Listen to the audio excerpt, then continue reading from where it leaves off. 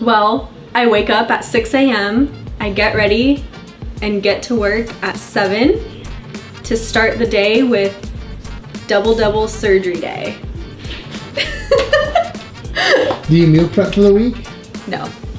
I do not. And yeah, I absolutely do not. No. I should, but I don't. I always take my dog for a walk and lots and lots of coffee. I get Starbucks. My order from Starbucks is a venti hazelnut shaken espresso with two extra pumps of hazelnut.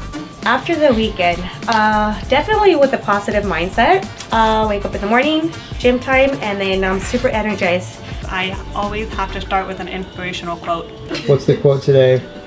Um, I didn't do one today. Dr. R, how do you get in the mood for a work on a Monday? I wake up in the mood, David.